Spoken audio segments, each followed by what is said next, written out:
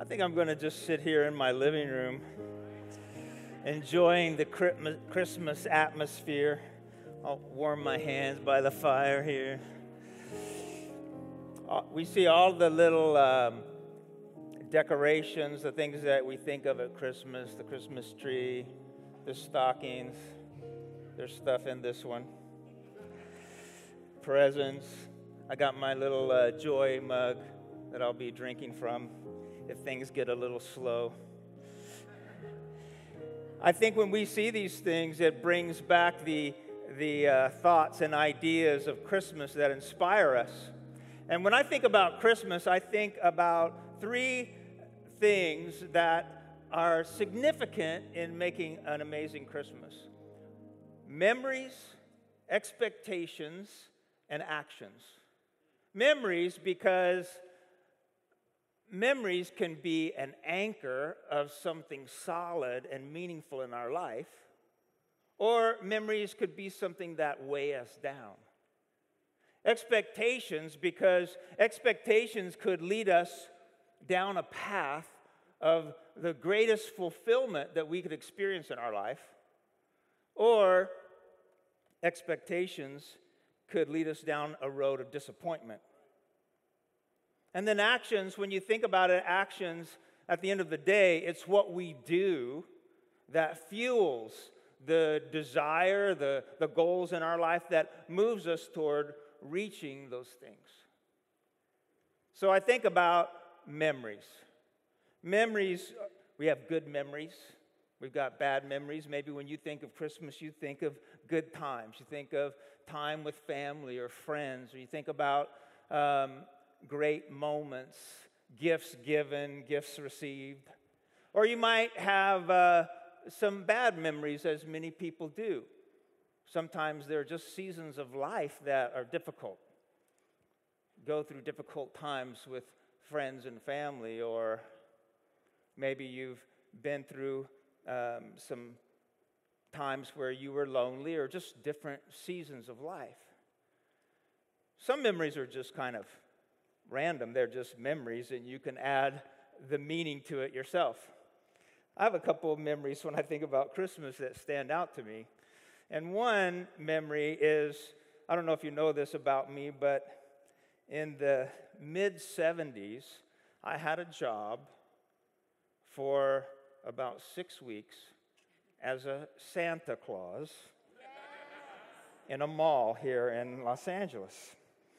And so uh, I lived in Venice Beach, and I drove my clunker car from Venice Beach about five days a week to North Hollywood to where Macy's is now off the 170. It used to be a, a small mall, and so I was the Santa. And so uh, I have a picture to show you in case you don't think I'm being honest here. You can see I have a real touch with kids, can you? She's having a great time.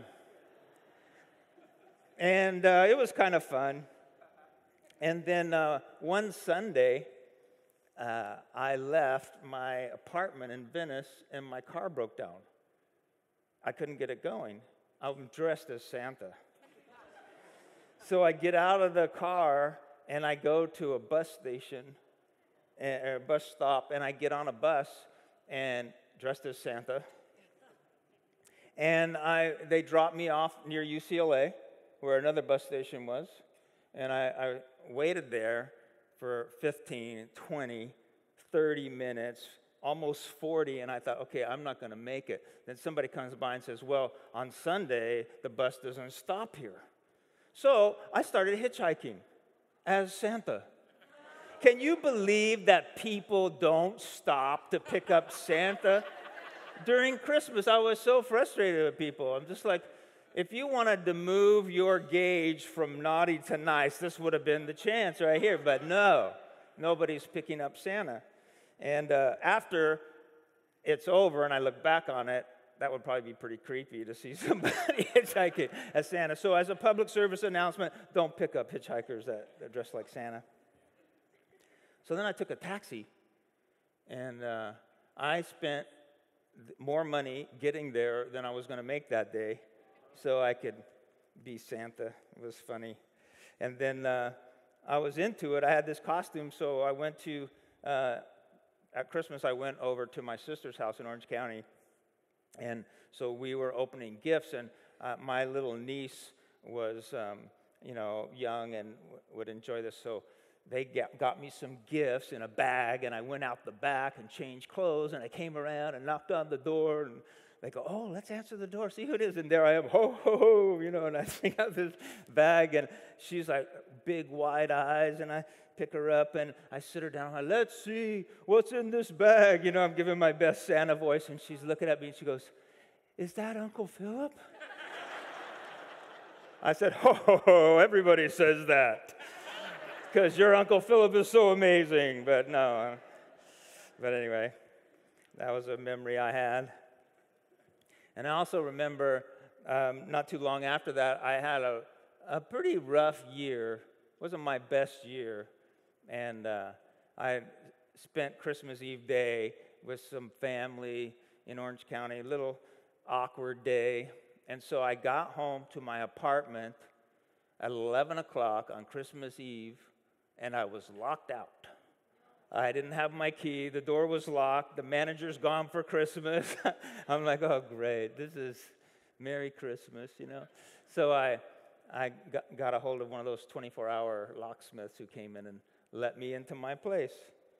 Funny things that happen around Christmas, memories. And you can put memories in a perspective that either makes you laugh or it discourages you, but it's what we do with our memories that, that counts. I try to reflect on good memories and bad memories and decide what is it that I want to change. And I want to create memories that are stronger than the most negative memories that I might have. And so when I think about memories, I think about we have good ones and we have bad ones, but if bad outweighs the good, then it's time to create memories that you will remember for a long time. I think about the scripture that tells the story in Luke about the announcement of the birth of Jesus. It's found in Luke, and I want to read this to you. They'll have it up on the screen for you here in a second. And it says, That night there were shepherds staying in the fields nearby, guarding their flocks of sheep. Suddenly, an angel of the Lord appeared among them, and the radiance of the Lord's glory surrounded them. They were terrified. But the angel assured them, reassured them, Don't be afraid, he said. I bring you good news that will bring great joy to all people. The Savior, yes, the Messiah, the Lord, has been born today in Bethlehem, the city of David, and you will recognize him by this sign. You will find a baby wrapped snugly in strips of cloth lying in a manger. Suddenly, the angel was joined by a vast host of others, the armies of heaven, praising God and saying, Glory to God in the highest heaven, and peace on earth to those with whom God is pleased. Well, that created a memory they'll never forget. Those shepherds. I don't think they would talk about that later and go, I, I don't remember that too much. That is a memory they'll never forget. Um, and then following this good news to Bethlehem, and they go and they see Mary and Joseph and this stable and the baby. And, um, you know, it's interesting how when we think of the nativity scene, it's, all, it's so nice and calm. All is calm, all is peaceful. There's Joseph and the baby and the animals and Mary. Her, her hair is beautiful. She has makeup on. Everything looks beautiful, like you do right after you have a baby. And um, I, I look at that picture and I think, you know, I was at the birth of both of my kids, Jordan and Paris, and there is nothing similar to my experience there than what I see in these pictures at the birth of Jesus. Because all was calm and there were angels, and well, there was kind of a glow around Holly's head like Mary, but other than that, it was totally different. And um, the point is, it's really not the way it was when we look at these pictures of the nativity scene. It's the view that we decide to focus on. And when it comes to memories, um, we can decide what we're going to pull from it. Is it going to be a lesson that sours us, or is it going to be a memory that inspires us? Because sometimes, even the worst memories, we can say, Well, I'm going to make sure that other people never have that experience by what I give to them. Or we can say, Well, I've had a bad experience and I'm going to let that keep me down. I know when Holly tells the story of the birth of our kids, it's a whole different story. She's like, Oh, it was pain. It wasn't that much pain at all. You know, we just had the baby and it was all amazing. And I'm like, well, not from my perspective. I, I saw it. I'll never forget what happened. So let me tell you my version. Not now, but. So um, I think about the best memories I've had. It's about making Christmas great for other people. Really, when I think about the Christmases, when I, when I sit in my chair at home next to the tree drinking from my joy cup, I think about times with my family, my wife, my kids, moments that we've shared together. And um, often I don't really think about the gifts that I got. Sometimes I'll think about a special gift that we worked at to, to give to them. But it's those kind of memories. Um, I have memories of, uh, over the years, Holly and I have invited some of the single people in our church that aren't going home for Christmas to come over and spend time with us. And, and I just remember those times. I don't really remember gifts that I've gotten, but I remember those people that we bring in just because they're extended family and we, we reach out to them. One Christmas that stands out to me is a time where Oasis uh, Church planned for six months, and we went to Uganda and we provided a Christmas for over 2,000 orphans.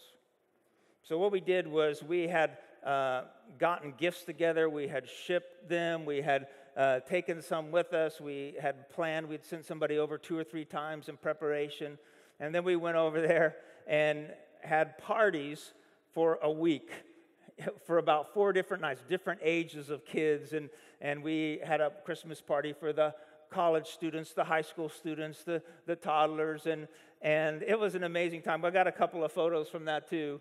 This is Santa Malcolm, who is uh, running things in our tech room right now. And uh, so we were there, and this is, we had jumpies and prizes, and everybody got backpacks full of stuff. And it was so fun because they never had a Christmas like that in their life. They might get a little something here and there. It's more about celebration with people. But um, to this day, when I go to Uganda, to Watoto Ministries, they say, This is the church that did Christmas for us. I don't remember what I got that year for Christmas, but it doesn't really matter. What matters is what we did for somebody else. And uh, so, those are the things that make memories so powerful and that accent what Christmas is all about. The other idea is expectations. Expectations can lead you down a path of fulfillment or if you have unrealistic or negative expectations, it can lead you to disappointment. Sometimes we have Christmas experiences as a child, and we have expectations that are childlike but not very realistic. When I was a kid in South Carolina, I was raised in Greenville, South Carolina, or lived there for about four or five years. And I was one of five kids. So there's five of us and two parents, seven in the family.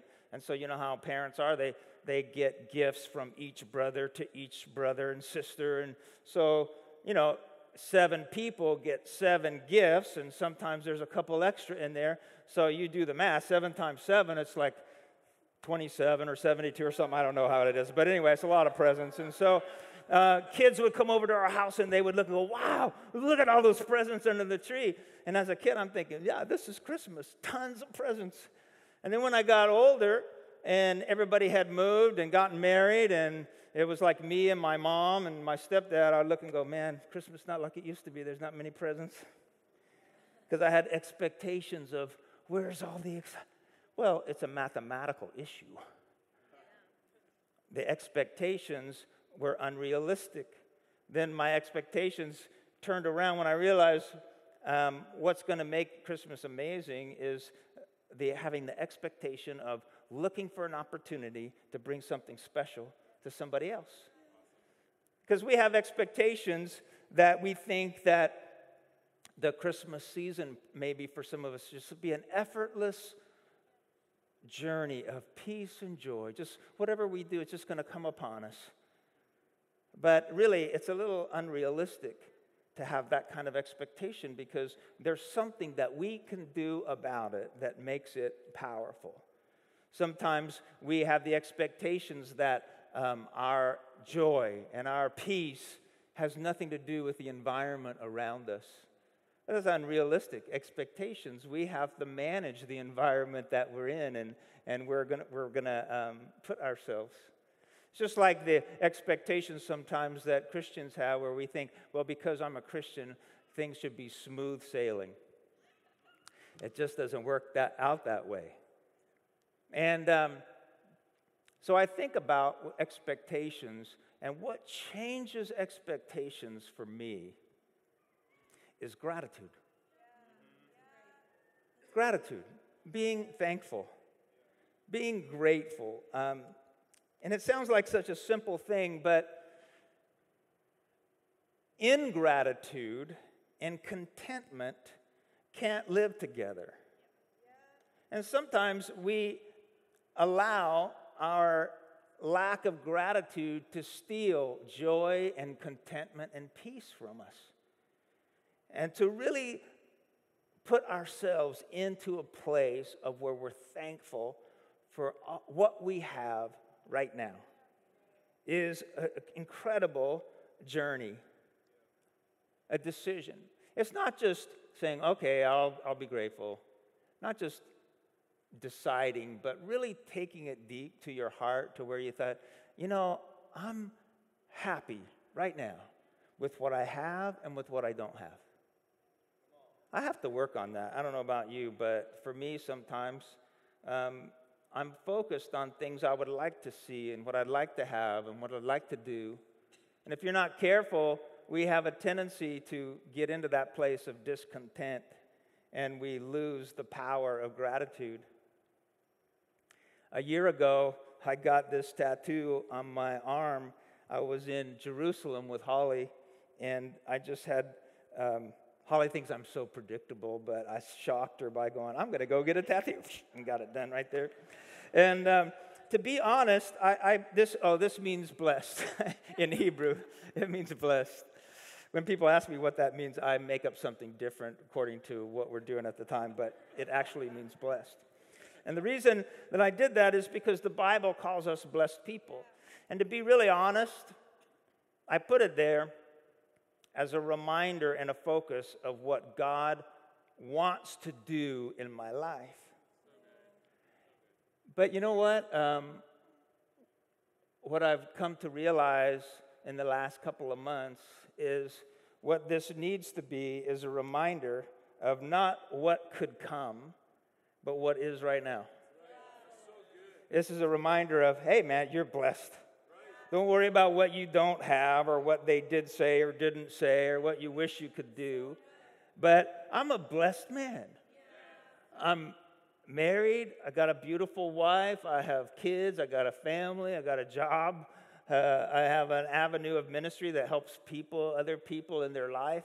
I'm blessed. And if I didn't have any of that, I have Jesus. I have salvation. My eternity is taken care of. I'm blessed.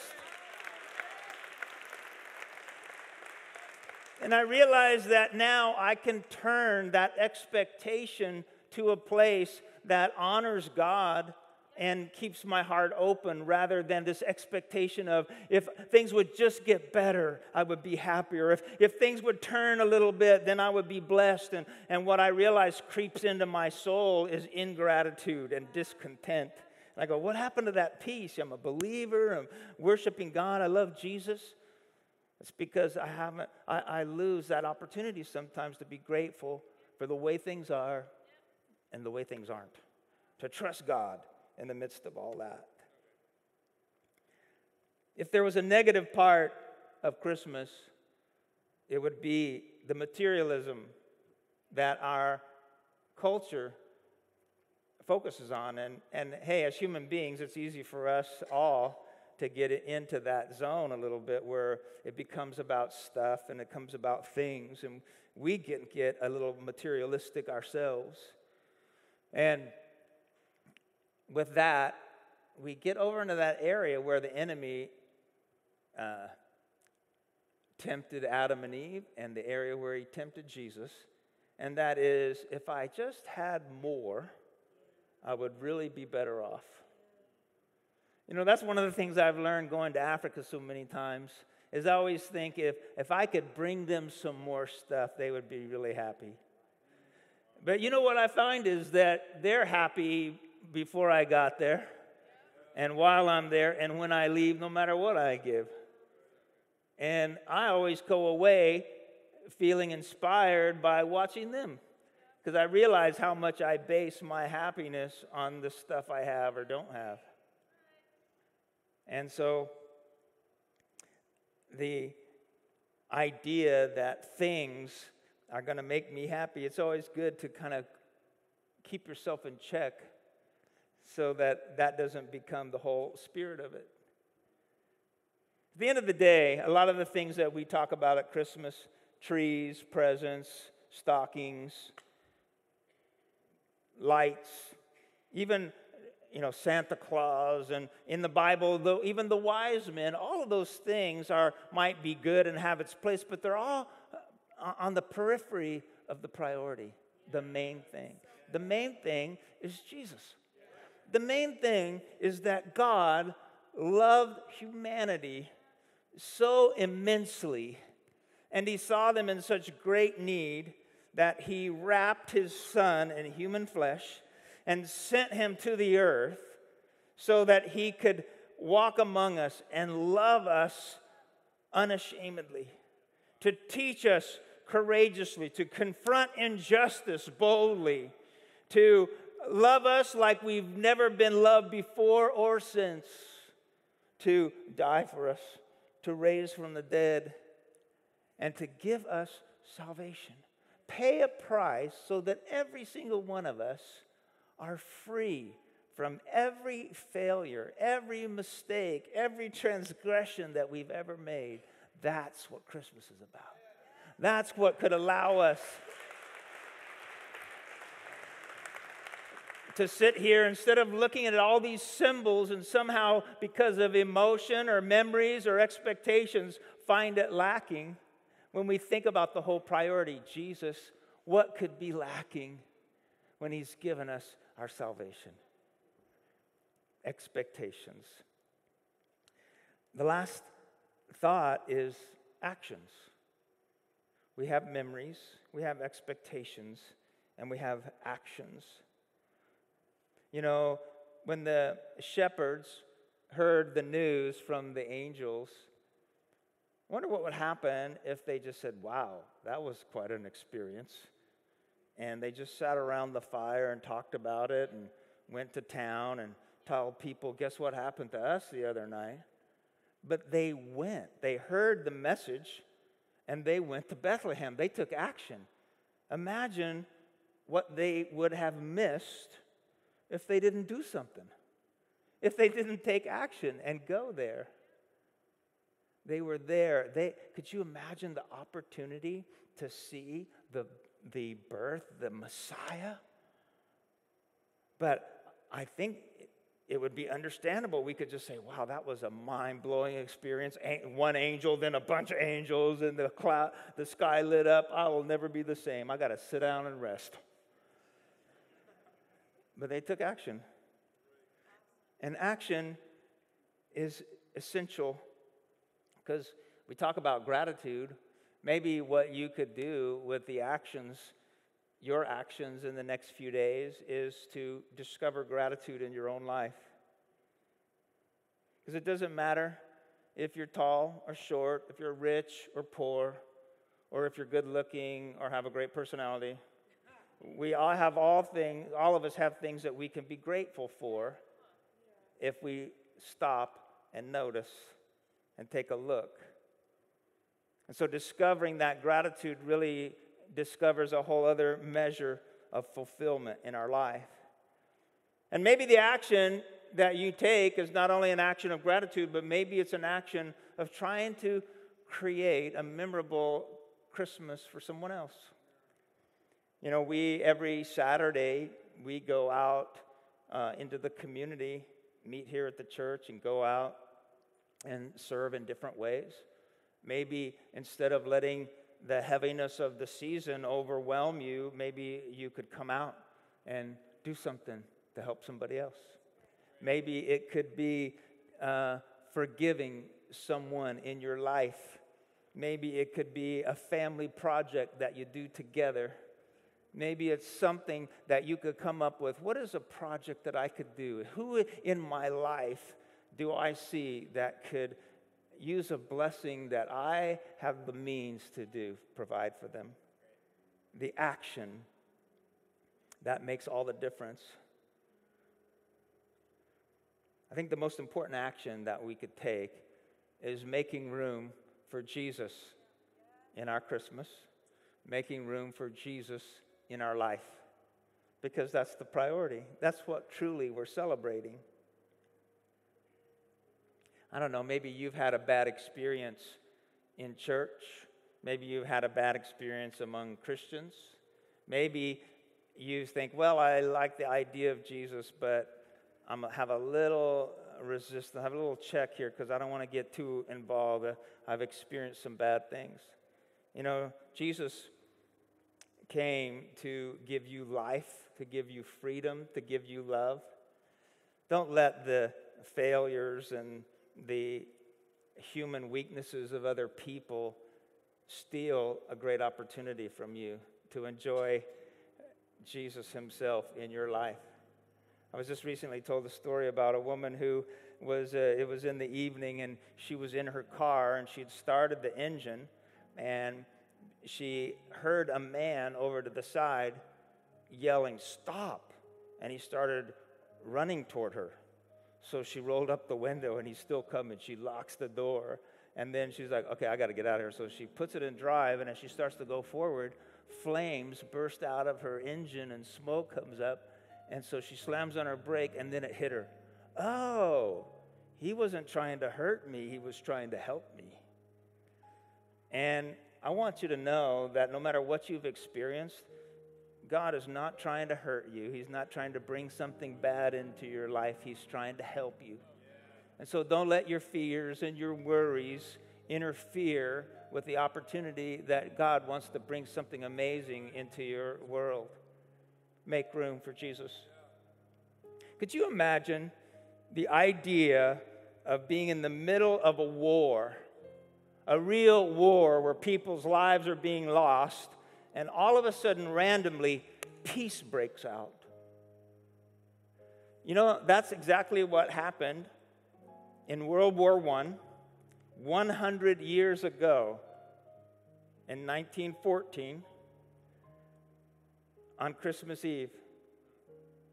There was a battle going on near the border of Germany. And as Christmas Eve arrived, the soldiers were close enough to each other, opposing armies, where they could hear the other side start to celebrate Christmas as Christmas Eve. They could hear each other singing Christmas carols and laughter going on. And it was unorchestrated, it was unorganized, but it was as if a truce broke out without any effort. And in one instance, one of the German soldiers, in a deep baritone voice, sang Silent Night. And the song echoed throughout, and all the soldiers started to sing along. And both armies were singing Christmas carols together. A truce took place. And the next morning, they, they knew that Christmas Day was going to be a different day, that nobody said anything, but there would be a day of peace. And so, little by little, the soldiers came out of the trenches and moved toward the common ground, which is what they called no man's land, where many soldiers had lost their lives in just the last several days. And they came together and they brought not weapons, but gifts.